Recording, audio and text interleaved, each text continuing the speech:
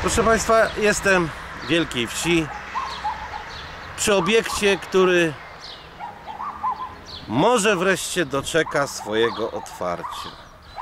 Przez wiele lat różne władze obiecywały. Wreszcie ruszyła ta budowa tej przepięknej hali sportowej. Terminy się skończyły.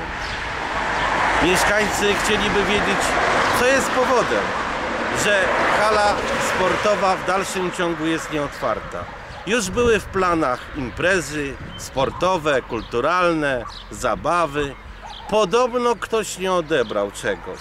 Podobno ktoś nie dopilnował. Terminy mijają. Dzieci mogłyby korzystać z tej przepięknej hali sportowej.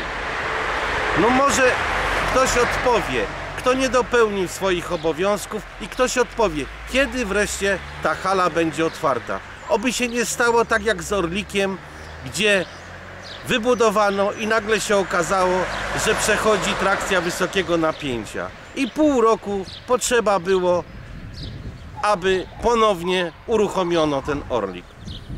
Może przed rokiem szkolnym 2014-2015 będzie ta hala otwarta.